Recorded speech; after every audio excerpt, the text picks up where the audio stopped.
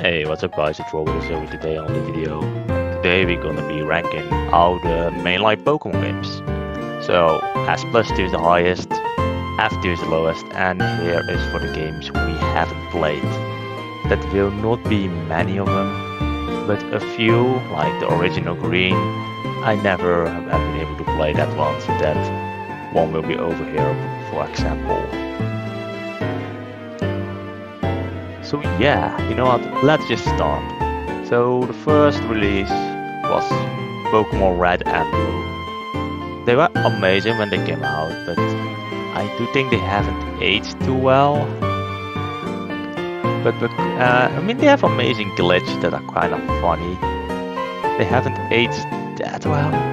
So I kinda wanna put them in D tier, but you know, actually, let's just make a D a C minus D, you know? We're gonna just do this color, uh, this color, and this color. Let's do that. Like C minus. Because I think that's a good way to rank red and blue. Because they were very good at release, but they just haven't aged that well. And because why I wanted not to rank them in C is because the next game, Pokemon Yellow.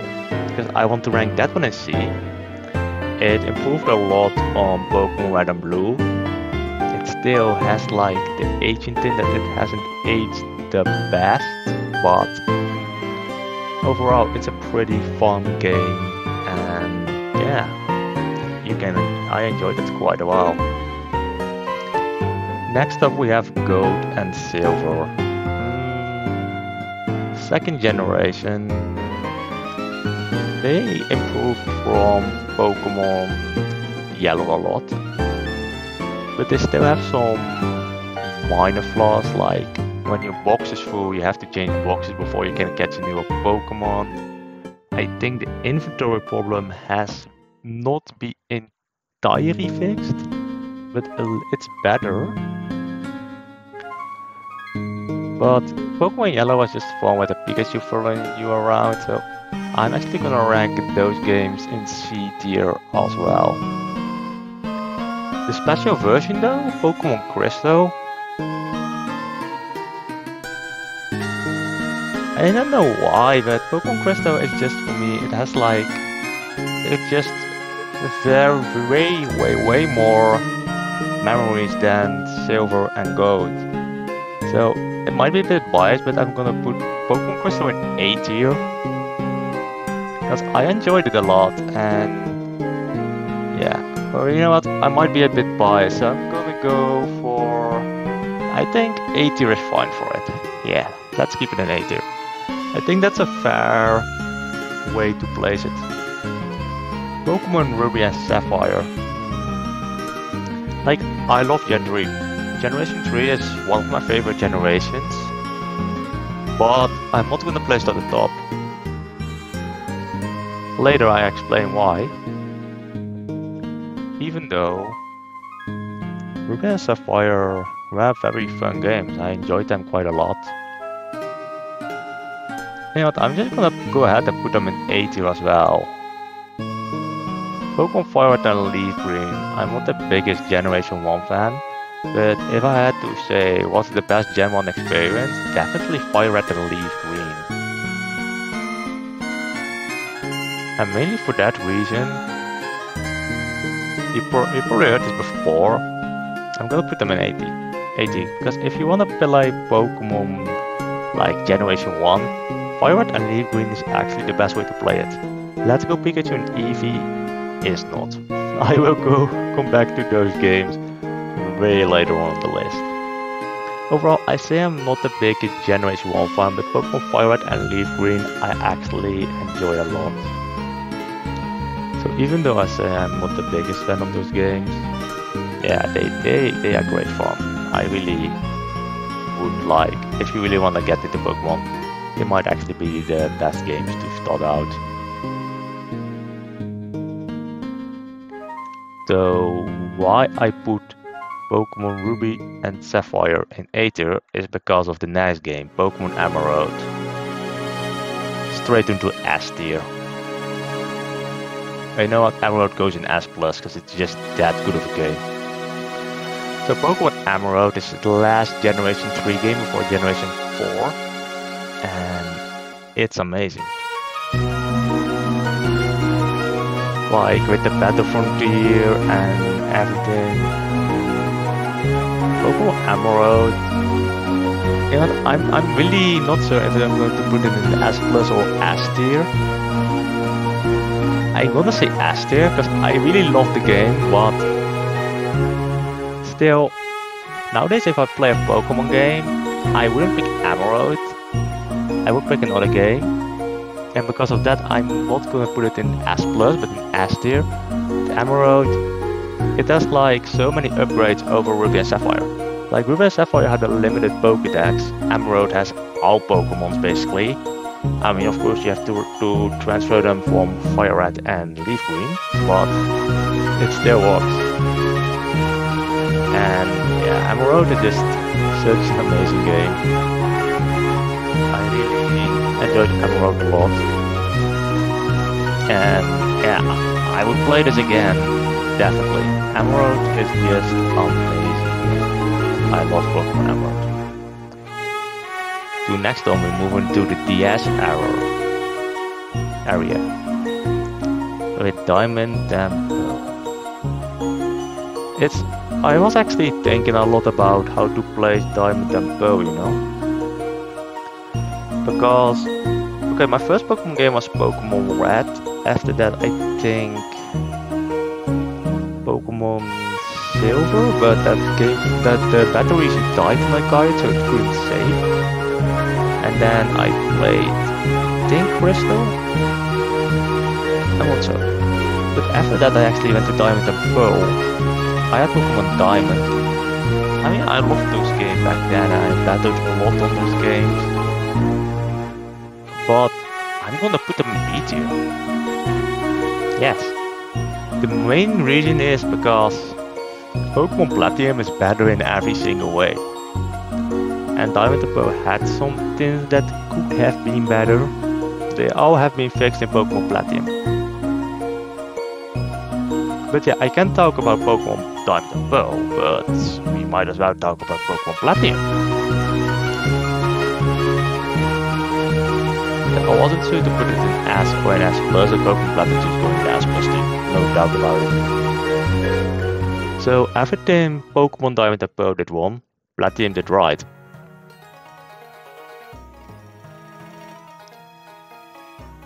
Don't get me wrong here though. Pokemon Diamond and Pearl are good games. Pokemon Platinum is just better just a better version. Because you had a limited Pokédex in Pokemon Diamond and Pearl. For example, Volkner, the Fire type Elite Four member, had the Drifblim and a Lopunny. Yeah, Fire type. I'm not sure if it was in the rematch, but I remember Volkner having an auxiliary, although that might have been in the remix. Not sure about that one. Anyways, I don't want to make this video too long, so I'm just going over the games in a kind of fast way. HeartGold Soul Silver. Hmm. Yeah, with Goat and Silver here down here, you might think, will it, eh, will it be really low? The answer is no. It will just miss out of S tier and it goes right in here. Actually, Ruby and Sapphire, I'm gonna move to the B tier actually. Because of Emerald being that much better. So HeartGold and Soul Silver, they came after Platinum and I picked HeartGold. I picked HeartGold up myself. I think it might be, have been a bit after it release. And with the Pokewalker and stuff, Pokewalker was really unique and Pokemons be able to follow you again. Last time that was possible was in Pokemon Yellow. so that was fun. Um, yeah, what can I say about the game? It's basically like the Gen 2 games, but just improved graphics, improved gameplay, because the gameplay from Gen 2 and below that was still kinda limited. Although Crystal still is still is being in A tier, because Crystal gets a pass for that, because Crystal is just it's way better than, than Gold and Silver. I mean, if I had really to rank these, I would rank them like above Crystal. I think this might be the best. I would say HeartGold and Soul Silver is the best way to play Generation 2 nowadays. For sure. Crystal is very good too, so if you play Crystal you're not missing out much because Crystal is great. Gold and Silver, yeah, you might want to play Pokemon HeartGold and Soul Silver instead. Next, we're moving on. Okay, really fit we get in Gen 5 music right now to my favorite Pokemon generation, Gen 5. It's Pokemon Black and White. So I picked these games up, I think, yeah, on release. Actually, I picked them up at release. Pokemon Black and White and also Black and White 2. I only bought one of them though. The fun thing is, I actually bought Pokemon White and after that I bought Pokemon Black 2.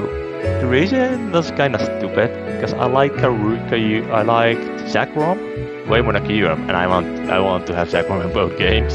So I bought white one, black two. I mean, black and white two versus black and white one. It's diff it's difficult for me to place, cause black and white one had less content. But the storyline, man, with N and stuff, dude, I might like the storyline more. But it's not only the storyline, it's how the games play and what is the preferred way. So Pokemon Black and White 1 going into S tier above Emerald. And Black and White 2 just going straight into S, tier, S plus tier above Platinum. No joke. So yeah, I can like like talk 10 minutes straight about those games. I'm gonna try and not do that. So Black and White 1 um, the story was around Team Plasma and and Ghetsis, his plan was to release our Pokemon for humans, and basically that Pokemons could live outside Pokeballs. Although that was a lie, and the reason he did that was because of N, and that was N's reason to be in Team Plasma. In Black and White 2, on the other hand, yeah, Ghetsis wanted to destroy everything and wasn't that nice guy anymore. Like Black and White we even tried to kill the player straight up. Player got saved by N, so hey, he makes an appearance. Although from what I heard, they didn't want to bring N back in the first place, but they did that because the, the, the community liked N's character a lot. And I think it's great they did. Like, I played Pokemon Black and White 2 for a very long time actually, and Pokemon Black and White 2. Even when the 3DS area came around with X and Y, I was still playing Pokemon Black and White 2, because I just like those games so much more. It's crazy actually, but it's it's just my how I think about the games. Black and White and Black and White 2 are the best Pokemon games in my opinion. Anyways, I was gonna say I'm not gonna talk straight tenets about them, but I still have to mention. There are things in Pokemon Black and White 2 that I don't like. Like for things like PokeStar Studios, for example. That's the stupidest content in the game. Some people say they like it, but you're forced to do it in the storyline, you know? You have to do it. No doubt about it. You can't say no. Although it's only one film you have to do, it's just a time waste that when you play through the games multiple times. Yeah, you get annoyed by that. Anyways, the you got to like the the tournament at the at of the game against our gym leaders, our champions at least from Gen 5 and below Gen 5, no Gen 6, 7, 8 of course. But who know, maybe we get a remake, you never know. We just had the BDSP remake. Okay, so the next remix is probably gonna be Earth So Silver, but you know what I'm saying, right? Anyways, I love everything besides PokeStar Studios about those games, so let's move on. Pokemon X and Y is next. I actually didn't pick this up on release. You might already have guessed that. And then you might think you're probably not gonna rank them high. And that's an unpopular opinion I'm gonna say now, because I'm actually gonna rank them high. Yeah, I like X and Y, and I'm gonna just rank them already. I'm gonna rank them 80. Just above Crystal. Because they yeah, they just age better than Crystal in my opinion. So yeah. Not really popular opinion, but I just like X and a lot. I enjoy the game a lot. People say it's not that challenging and a lot of things that people say that made the Pokemon game too, games too easy came from generation 6 and onwards. Well, I just say 6 in my own language. Anyways, they have a point in that, but it didn't really bother me that much. Because you didn't have to train other Pokemon basically. And the challenge, yeah, if you don't overlevel too much, I actually played through the games two times in a row. Two times. And both times I actually had a bit of trouble with the champion. I mean, yeah, it's at the end of the game and it is the champion, but I just liked how the game played. It just felt good. The challenge isn't that high, but 80 nevertheless. From an unpopular opinion into probably the natural Alpha Sapphire and Magnetic. As.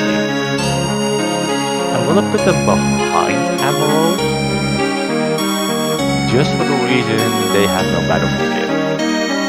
If it was, if they had a battlefield, it would have been above Emerald, but unfortunately. Because that means when you go with Emerald, you have the entire battlefield to do. When you go with Alpha Sapphire Mega Ruby, yeah, not that much. but still, I enjoyed the games a lot. I completed the entire Pokédex in Alpha Sapphire Mega Ruby. I think it's the oldest game I own the Shiny Charm on. I might try go do the same Pokemon X and I did with VP probably should have down soon on this, those systems. Yeah. I don't think that will be happening.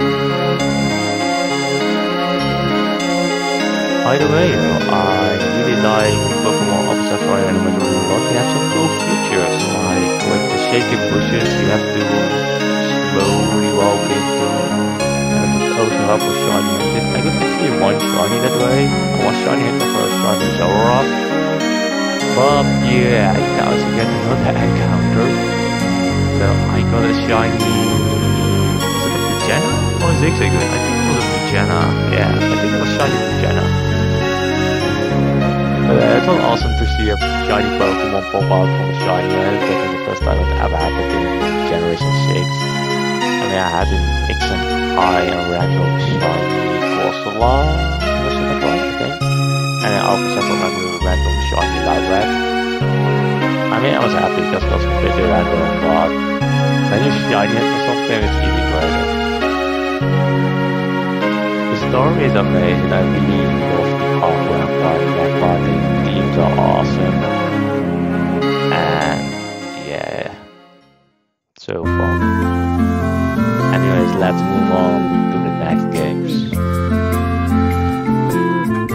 And that does Cinnamon. I don't want to talk too much about that. Um, people not gonna like it, but put it. Here is why. later on, Ultra Sun and Ultra Moon got released, and they went into the better versions of Sun and Moon. You could say, but you say the same thing about Pokemon Ruby Sapphire and Omega Ruby uh, I can tell. He said the same thing about Pokemon Ruby and Sapphire and Pokemon Emerald and Diamond and Pearl and Plat. Yes, but I enjoyed those games. So the Moon, I no gym leaders. I really hated that. I'm I really like the gym leaders. You know, they tried something new. It was interesting, but it just didn't work out for me. I mean, those games I'm gonna rank higher, but I can't like. Many people would put these games in S tier, S plus tier, and I just can't do that. So I'm gonna rank them. I have been thinking a long time about that because some time ago I would probably have done D tier or F tier as well, but then I thought they're not that bad. They actually, I actually can still quite enjoy them. So I'm gonna put them in B tier. Like some people have heard me hating on Pokemon Ultra Sun and Moon a lot. Nah, mostly on Gen 7 in general. But that means that was because for me everything in Gen 7 wasn't good. Because the anime, I cannot watch the Gen 7 anime. I just can't. But then again, back to games. Ultra Sun and Ultra Moon had some cool, cool things that I enjoyed, like the the Ultra Wormhole where you could get legendaries and have increased shiny chance, and I can get a lot of Mega Beasts, Ultra Beasts, and yeah, because of that, it's actually to go to the B tier, and also a cool surfer game with my surf on a Mantine to the next part of the game. I kept it like much higher than I do, but it, I really dislike island challenges.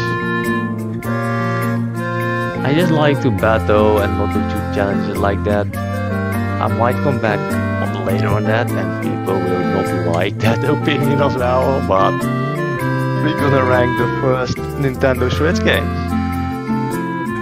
Pokemon Let's Go Eevee and Let's Go Pikachu. You might have heard me saying earlier in this video something with the best way to play Generation 1 is Fire Red and Leaf Green. And yes it is.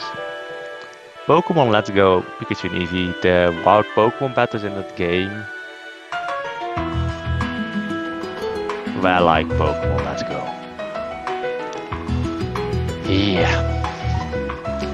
That wasn't a good idea.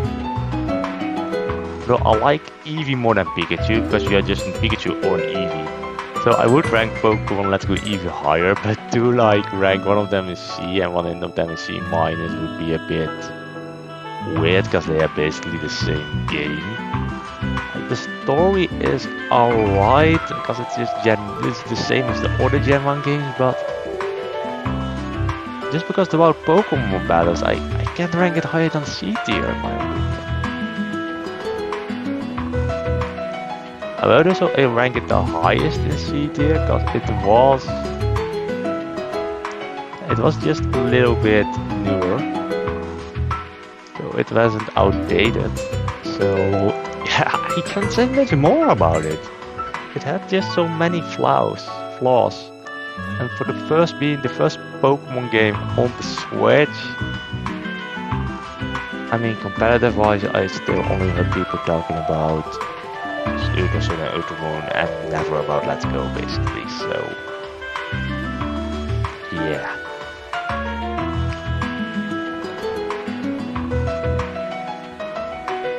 Now we come to Sword and Shield.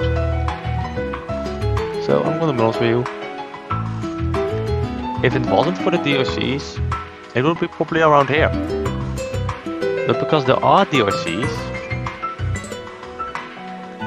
I'm gonna put it in the A tier, actually. Yes.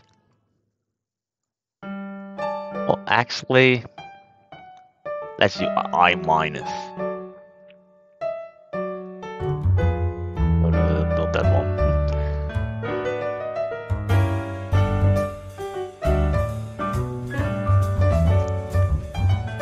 Hmm, I'm screwing things up. Alright, got it. I haven't in the color green at all. The Pokemon and Shield, before the DLC, it wasn't that good. he made the game so much fun. And yeah. Like with Dynamax Adventures, the the first DLC wasn't that much to my liking. The first one was. Like nowadays I only use the second uh, DLC place when there is like a shiny uh, Dan hunt, like shiny Max Raid run. Then I just use a reset Dan right there at that place, so that's where I use that entire temple. Although I hunt uh, a few shinies before. Shiny... Was my shiny Thomas there? I know. My shiny Binary was though.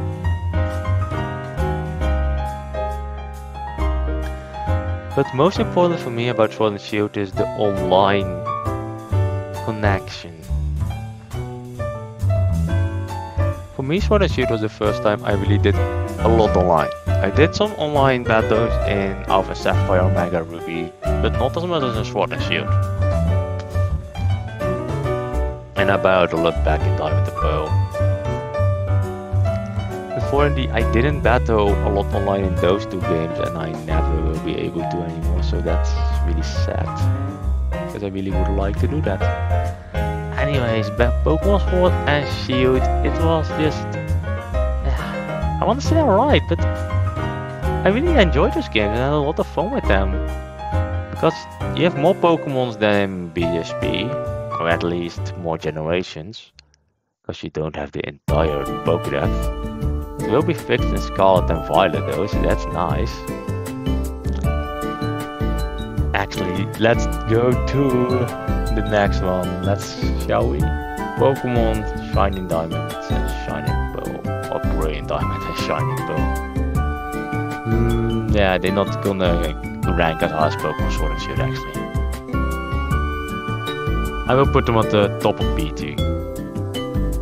Like B tier are still games that are really that you still are enjoyable for me. So it's not bad to be in B tier. But I can't rank them any higher than that. They have many of the same flaws as in Diamond and Pearl, and that's the reason I can't rank them higher. I mean, you have the underground where you could get more Pokemons, but... I mean, if there was a remake of Plat, it probably would have been in S plus tier again. Because this was definitely a complete remake, remake of Diamond and Pearl. And that's the reason why it's in the B tier. Because it is not Pokemon Platinum.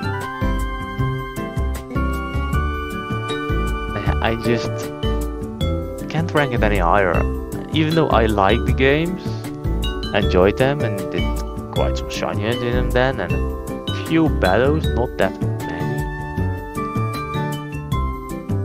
That I can't say much about it, because I have discussed before that Platinum is better than Diamond and Pearl, and Platinum is also better than Pokemon Brilliant Diamond and Shiny Pearl because of that. We still have one game to rank after this though, but can't say too much about, about Pokemon Pro and Diamond and Pearl. Yeah, they are good games, but just when you finish the games, don't expect expect much more. You can get legendaries, you got the Ramanas Park where I have some mixed feelings about how things work, mostly with the music. And that's probably something I haven't shouldn't do, but hey. Actually, let's just move on to the last one because it's already 28 minute video. I might hit, we probably will hit 30 minutes, or I just put this in the and say bye guys, that was the video. But yeah, I actually don't want to talk too much about Pokemon Legends Arceus, but I'm going anyways.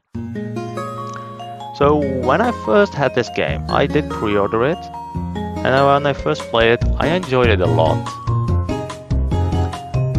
So when I first played it, probably be like 80, maybe even SD, but I'm always not playing it like, by my fun degraded and got less. I enjoyed the game less, and less, and less, and less, and less.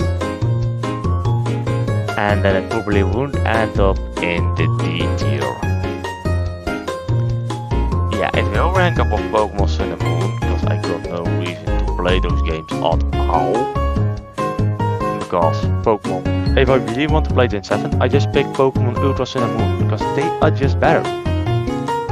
You could say the same about, Pokemon Diamond and Pearl and Ruby and Sapphire, but I still enjoy those games. I enjoyed those games and played them. I did play Pokemon Legends oh, Arceus, don't get me wrong, but at first I really enjoyed the game a lot, but then it stays the same. Nothing changes. You almost have you almost have no training battles, so you just catch Pokemon over and over and over again. Um, yeah, I can't say that much about it. I mean, yeah, I haven't even talked about the plot. Like you actually, actually someone from Generation 4, like the Diamond and Pro Pro series. But if you think about it, Shining Pearl Brilliant Diamond were already been released. If they didn't make this game, maybe it could have been could have had a Platinum remake. Although that would have been a bit too much. Because Legend Arceus was a new concept. I mean, I heard them even talking a bit about DLC I haven't heard anything of that anymore after it. I mean, you had like the the story was about like uh, we like make the Pokemon calm down the Pokemon. The, man, talking is hard. Have I said that?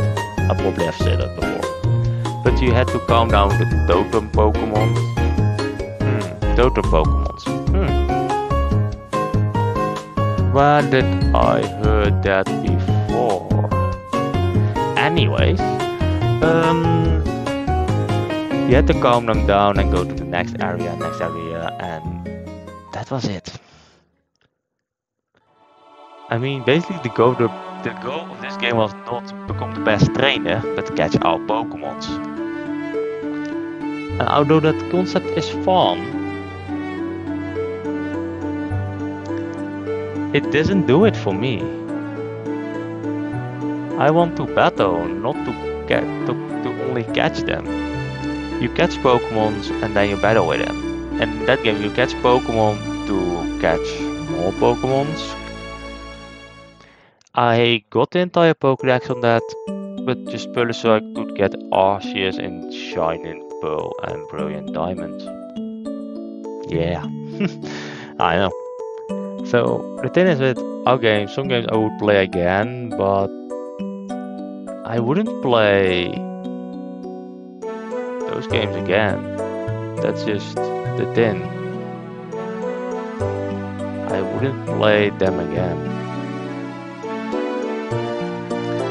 Um, yeah, I wouldn't, wouldn't play this game again.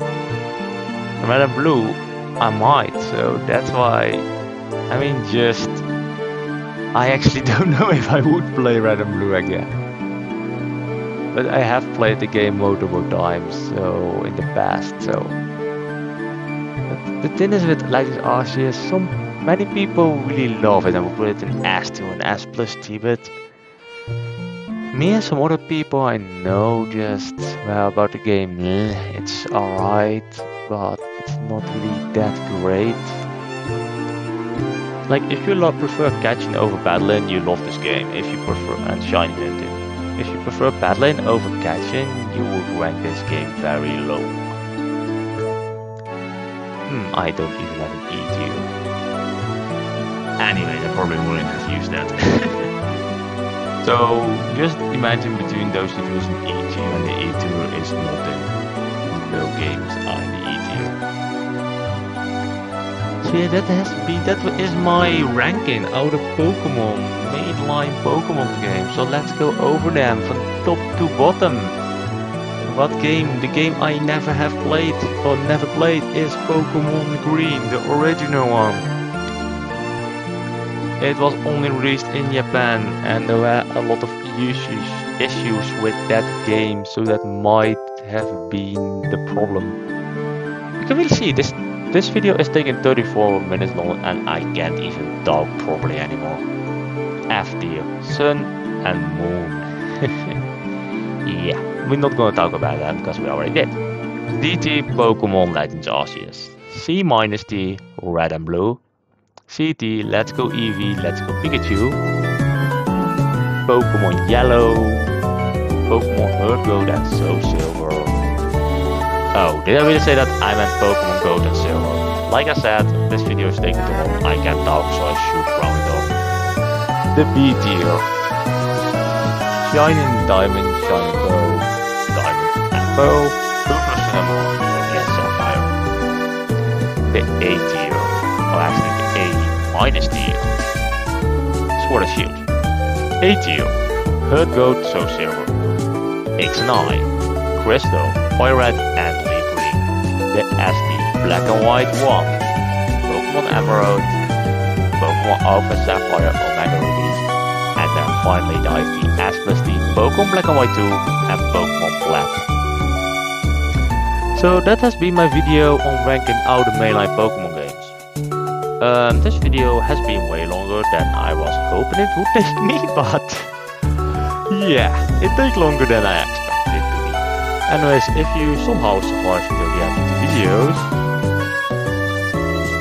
if you somehow survive it until the end of the video, yeah, let me know what how you would them and what your.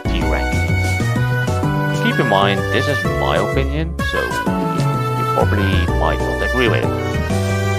Um, if you enjoyed this video, be sure to leave a like down there. I really appreciate if you do it. If you didn't enjoy this video and feel like your, tier list is trash, then then just split this video away. I mean, if you don't like my tier list, then yeah, it's my opinion. Like it, then just watch another tier list, I guess. Anyways, if you haven't subscribed to my channel yet, be sure to do that. There might be some Pokemon Scarlet and Violet battles be coming up when that game comes out. I don't know that for sure. Anyways, I hope you all have a great day and I hope to see you guys in the next video. Bye guys. Thanks for watching.